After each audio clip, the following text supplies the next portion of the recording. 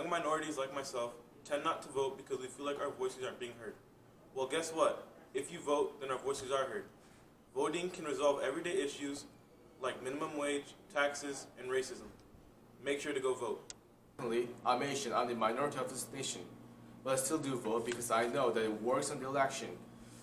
For example, I voted on the candidate who campaigned on eradicating political corruption on all on federal level, which means I, I pursue, I believe such things, and so I, therefore I voted. As I mentioned previously, as the member of this society, I vote, which means you also have to vote.